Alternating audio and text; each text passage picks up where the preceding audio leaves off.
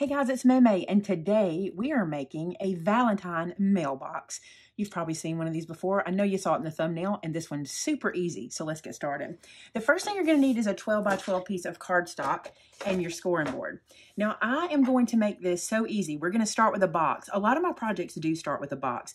I'm going to tell you the score lines, and then I'm going to show you a template that I made for us, okay? So we're going to score at 4 inches and 8 inches and then we're going to turn this in our scoreboard and score again at 4 and 8. You can see we're just making a simple box. Now there's one thing I'm going to do. I need to take some bulk out of a spot. So here's how I decided to do it. Where I've got 4 inches scored here, I'm going to come back to 3 and score down to my first score line. So where those meet right there, okay? Then where I've got 8, I'm going to go out to 9 and do the same thing and stop at that score line right there. Now let me show you the little template I made so this will all make sense. You can see it all drawn out. So what we just did is this, roughly. so basically, you just have a box here, and then we've made this little flap, and we won't need this, and we've made this little flap, and we won't need this. So I just wanted to show you this so you'll know that's what you're scoring, all right? So now let's do some cutting and slicing. So I like to use my big scissors for this because I can get like one good cut on the paper. And cutting in the ditch, you guys ask me sometimes how I'm doing this. On this one, I'm cutting in the ditch of the score. I'm just going to cut straight to that first mark there. And I'm going to cut this guy away. Okay, so I got that little guy. And then I'm going to do the same thing over here. I'm going to take this one away, cutting in the ditch of the score mark and take this guy away. Perfect. Now what I want to do is do some little finesse work here. Let me show you what I mean. I need to slice this over. So I'm going to do that. You can totally do this all in one cut when you're doing what I just did here, but I don't want you to get lost, so I'm doing it kind of the long way around. But you can totally just slice all the way here and do all your angle cut at the same time. All right, here I'm going to cut little angle there, and I'm going to cut a little angle here. So I want that little flap. Does that make sense? I think it does. Let me flip this over and we're to do the other side the same way. So I'm to slice right here. Then I'm going to do my little angle cut. No, there's no specific angle it needs to be. We're just taking some bulk out. Same thing here with my shakes. Okay, so this is what you end up with on one end. Now we need to cut another slice. And this slice goes right here and right here, okay? So I'm just gonna come right over here and cutting in the ditch again, just gonna slice to that cross section, okay? And then slice to the other cross section. Once you make one of these, this you can do in your sleep. This is super easy. All right, now we need to crease all our score lines. You could crease before that if you wanted to, but I just do it like this because I can lay everything out and get it all lined up nice and straight like so and then bring this guy over and I'm able to line it up at the top there and do my creasing just like so.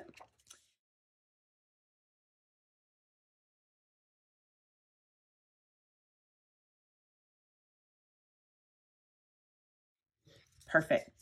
All right, it's time to do a little slicing.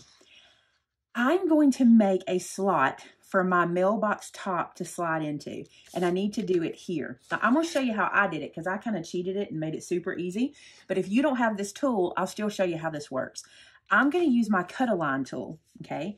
And I'm going to lay it on the edge of the little um, box lid there, the box top. And from one score line to the other, I'm going to make a slice. All right, so I'm going to start at one score line using that middle open hole on my cut-a-line. I'm going to stop a little short of it so I can go to it and make sure I get just what I need there. So there's my score line. Now I crossed over a little, I mean my slice. I crossed over a little bit, but that's not gonna be a problem. You'll see in a few minutes, all that will go away. I find making this slice here much easier than trying to um, do it any other way. This is just the way it worked for me. Now, if you don't have this tool, let me show you what you'll be doing. You're gonna measure in one inch, okay? And then you're gonna cut one inch from score to score. So you can totally do this with your ruler, but this just makes it so easy. If you have it, you might as well use it. All right, so now let's assemble this dude. Let's get our glue. And what we're gonna do is we're gonna take these sides, and that's gonna be the sides of our box here, and give us a little stabi stability. I like to bulk up the sides when I make boxes like this. Uh, by the way, this box is gonna be able to hold a cupcake. That's the plan of it, this little mailbox. So this guy lines up here like so. And you just want to line up that side. And I'm going to lay this down and squish really well. Just like that. And while I'm here, let's do this side. Now, remember I told you that I cut these little flaps to get rid of bulk? If I didn't cut these little flaps, these sides would be three inches thick. And you, I mean, three layers th thick. You don't need three layers thick. That's why I did it like this, so we could just do a little flap on the side. And so what we're going to do is put a little glue here, just like so, and then tuck that in and line it up. If you if you want to leave that big flap there, I mean, you could.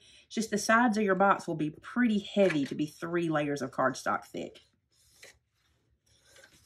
All right, so there's that one tucked in. Let's tuck this one before we put glue on it.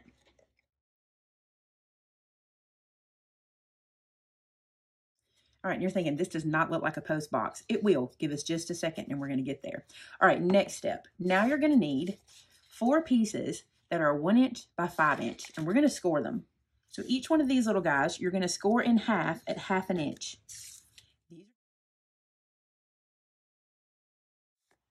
Now I want to show you something I discovered. If you will take this to your work surface and bend the middle, pushing it to the work surface, you can line the edges of your cardstock up as it comes to the top much easier and get a nice straight score mark um, fold. So I'm just going to do that and then I'm going to crease all these guys down. Here, you're going to glue these little legs onto your mailbox like so. Okay, so what we'll do is we'll run some glue. This is why that little slice really didn't matter if it went a little too wide, because we're going to cover up half inch of it anyway. All right, so you want to line these at the top of the box, which is the top part where your slice is. And I'm going to flip this over and then run my hand inside to make sure I get good adhesion there. Okay, I'm going to open this side out. You see I'm opening that leg up so I can put glue on it as well. And I'm going to glue it to the box just like this. Again, laying it down and squishing it. So all four corners are going to get these legs.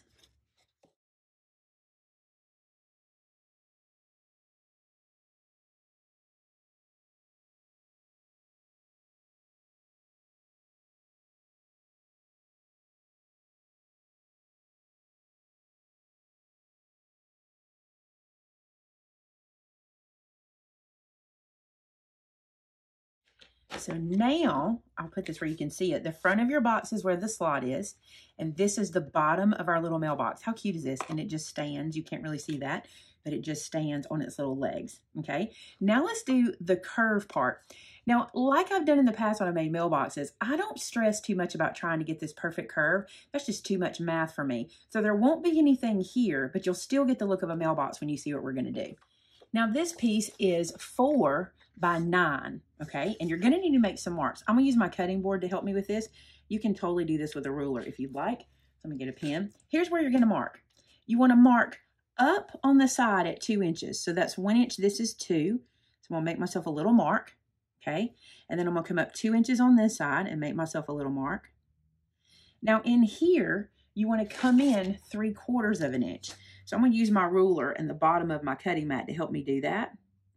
So just line this up here. Actually, I could just use my ruler to help me because my ruler has measurements in it. So there we go. I'm going to make a three quarter of an inch mark.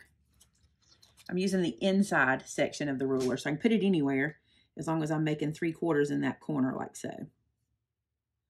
And make a mark there. Okay. So you guys might not can see that, so I'm going to bring it up closer. There's my two inch mark and my three quarter inch mark. And now, you guessed it, we're going to angle cut it. So I'm going to go from this corner to my two inch mark and make an angle cut. Another reason I like the long scissors for this because you can get a nice smooth cut. And down here, I'm just going to go from my two inch to my three quarter inch. Didn't quite make it. So I'm going to come back and do a slight, just a tiny sliver more till I get there. Perfect. All right. That is what I want the front of my mailbox to look like. This will be our little curve piece. It'll make sense in a second. All right, back to our box, which I'm to lay like this so you guys can see that. What we're going to do here is I want to glue this section into the mailbox on the inside there. And I'm going to glue about a good half an inch, maybe even an inch inside, like so. So I add my glue there. And I'm just going to come to the back of the box. And inside, I'm going to lay that in, just like I said, about half an inch, almost an inch. Just really making sure I cover all the glue I just put down. And get that smashed in there really well. Now you can do this with different color papers. You don't have to use just the solid red, but I think it's really cute to make the red mailbox and then decorate it. All right, so now what happens is this flap that we made at the top slides in here and you just want to push it as far down as it will go and it will stay. Look, there's your mailbox. Isn't it cute? And it will stand up and you just push that in. And remember, I told you it's not going to have a little thing here because I cannot be bothered with all that little curve. But from the front, you totally know this is a Valentine mailbox. And what I love is the way the flap opens like this. You can put a cupcake in there so easy to give out and then just slide this guy in just like so. Now let's decorate it. So let's talk about covering it with the papers that you want. Now I've decided that I want to cover this little piece here that wraps the little top part. And here's what I've done. I've cut for myself a piece to sit on top and let me give you the measurements because I have forgotten already. So this piece is seven and three quarters by three and three quarters. And that's what I'm going to use here. Now, what I'm going to do is treat it the same way that I did earlier where I did the little angle cut. So we're going to do the same angle cut. Let me show you. So I'm going to put it onto my board like I did before. This time I'll have a little bit of gap between these two here. Get my marker. And I'm going to mark up at two inches. One, two. So make myself a mark I can see there. And then mark up at two inches here. One, two. And then I'm going to come in three quarters of an inch. Let's use that ruler to do that again.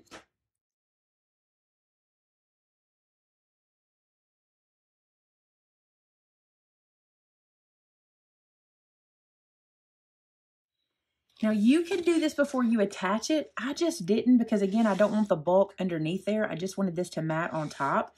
And so this is how I'm going to mat mine just like this. So I'm just going to glue that on. I'm going to line up the front first because that's what's going to be seen. I'm going to spend more time here than at the top. And once I've got it there, I'm going to flip it over and rub it down. I'll let that dry for a minute while we keep going. Okay, so now then, the front of here. So I decided I want to put a piece here underneath the slit there because the other piece is going to slide inside. So I'm going to put some glue on this little guy and I will tell you the measurements once I get it down. I keep forgetting that, but I got to tell you those measurements. They'll also be in the blog post that we'll link in the description below. So I'm going to lay that little guy down, line him up. I'll flip this guy over and squish it into place, put my hand in there and squish. So there's that one. And then I'm going to do the same on either side. Let me give you that measurement. So this piece is two and three quarters by three and three quarters. And then the side pieces are three and three quarters square. So these can just get glued straight down.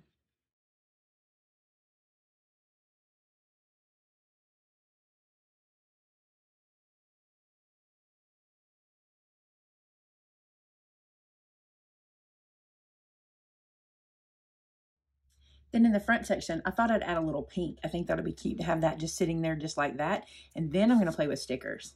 And you could totally play with your stamps here. You could stamp out some really cute images, cut them out, fussy cut them, add a sentiment, what have you. But I have got some stickers from some Valentine packs that I want to use. That's what I'm going to do. Now here, if you're finding you're getting some resistance, you can always curl this on your work surface. See how mine is a little bit angled. It's not exactly straight. So what I'm going to do is take this to the edge of my work surface, which is going to be hard for you to see. But I'm going to run it like I would if I was doing um, ribbon. So I'm just kind of curving it. You can, let me show you with my ruler. I'm running it on my edge of my work surface to kind of curl it like that.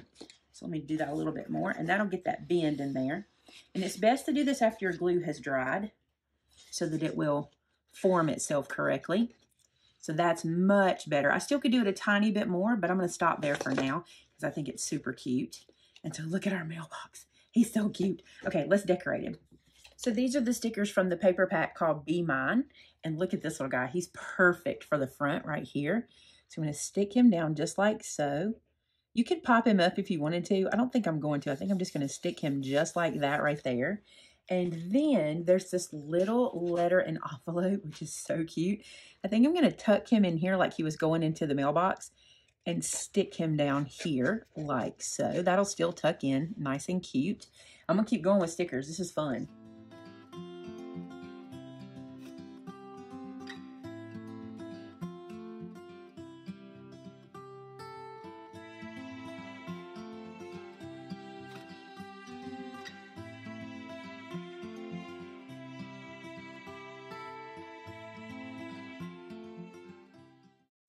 So now I got stickers everywhere, I decided I want to put a couple little bows. So I just tied a little red bow, and I think I'm just going to put a dot of glue here and put that little bow in. I was going to tie the bow on the little flap, but I think it looks really cute right here. So put a little dot of glue there, and then I made myself a little baker's twine bow to go on top of that one. I'm just going to put another dot on top and put that guy on. And when those dry, I have some little self-adhesive pearls. I think I'm going to come back and put a little pearl in there too. But for now, I think I'm going to leave it like this so these guys can get good and dry. So we're not dry by any means. I've got it all stacked up there too dry, but that is how I'm going to finish my little mailbox. I hope you guys enjoyed this one you always seem to like the mailboxes and you tell me that you struggle with making those curves, but look, you don't really need it. You still get the look and everybody knows that this is a little stand-up mailbox. And so you don't have to do all that crazy math to get that curve. Hey, thanks so much for watching today, guys. Remember, when you make these, I want to see them. So head to my customer gallery on my website at maymaymadeit.com and post pictures of them. Show me what you're going to put inside. You don't have to put a cupcake. It is large enough for that, but can you imagine a cute little stack of cookies, maybe in a little plastic bag, or even just a bag full of candy treats. Or you could think of maybe Hot Wheels cars or little dolls or something if you didn't want to do candy treats. It's big enough to put all kinds of stuff inside. Hey, thanks so much for watching today, guys. Talk to you again next time. Bye-bye.